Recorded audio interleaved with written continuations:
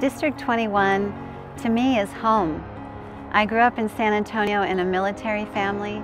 We prayed, we honored our flag and country, and we did what we could for our neighbors and community. It's funny because I tell people I probably have the longest running resume of anyone they know. My journey began as a teenage mother who worked multiple jobs to make ends meet. I cherish life because I know that through all of the tough times, my child, my son, was truly a gift from God, and I was determined to give him the best life possible.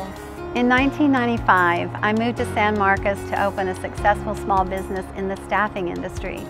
And it became my life's work to put people in good paying jobs so they too could provide their families with a great life just like I tried to do for mine.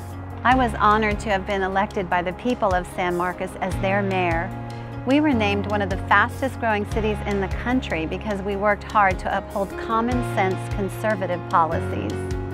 And through the years, I've worked with clients and neighbors in all corners of the district, from Austin to the Hill Country to San Antonio, and my husband and I reside in New Braunfels. I'm running for Congress because I believe my experiences, having served my community in many capacities, is exactly what we need in Washington. I'm pro-life, believe we should keep taxes low and government out of our lives. We need a fighter, someone who has persevered through many challenges in life that truly understands and represents everyday people. I am that person. I'm Susan Narvaiz, and I'm running to represent you in Congress for District 21.